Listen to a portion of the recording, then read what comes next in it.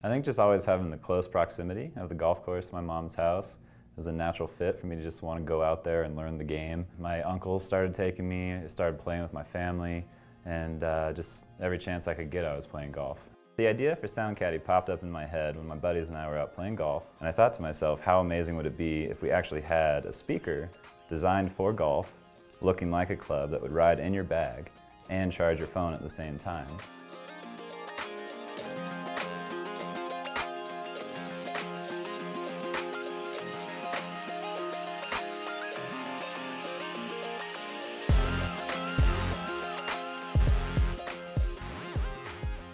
Inside the Sound Caddy are dual drivers and a passive bass radiator combining together to create a sound like you've never heard from a device this size.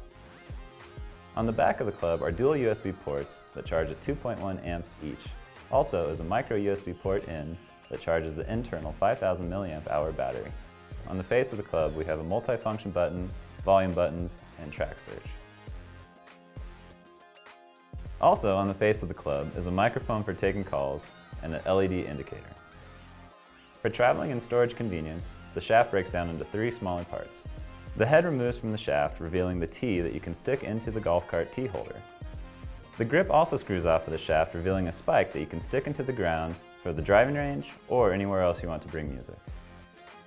The future for SoundCaddy is very bright. We've got a fully functional prototype, and we just need your help and support to take it to production and to order our injection molds to deliver to your doorstep. By funding us today, you can be one of the first people to own one of the most unique speakers to ever hit the market. Thank you so much for backing this campaign and sharing with your friends and family to help make Sound Caddy a reality. Sound Caddy, amplify your game.